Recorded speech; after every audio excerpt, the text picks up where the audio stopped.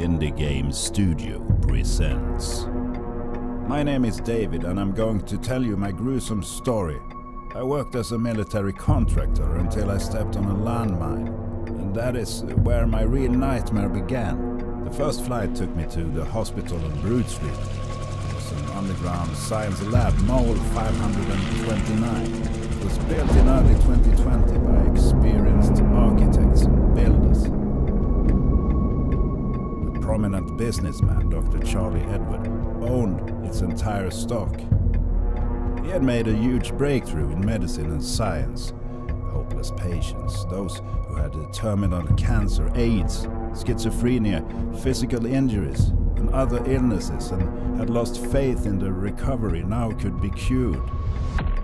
The best minds from all over the world worked for Charlie. It was a significant success that was recognized by all mankind. Everything was fine until Jason, the richest and most powerful person in the world, bribed all the shareholders and became the owner of 80% of all Panicum shares. Jason was addicted to power. Moreover, he had conducted biological weapons research. When he got hold of 80% of the shares, he became the president of the Panicum Corporation. Charlie was an intelligent man who sought to help people, but he lost and had to flee across borders. The scientific center are reassembling my body after that tragedy in the war, and I hope nothing has changed since the management shuffle.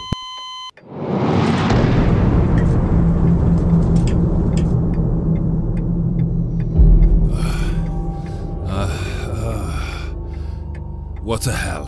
Am I dead? Or is it a dream? Maybe anesthesia acted on me in such a way. I have to get out of here. How do I open this bloody door?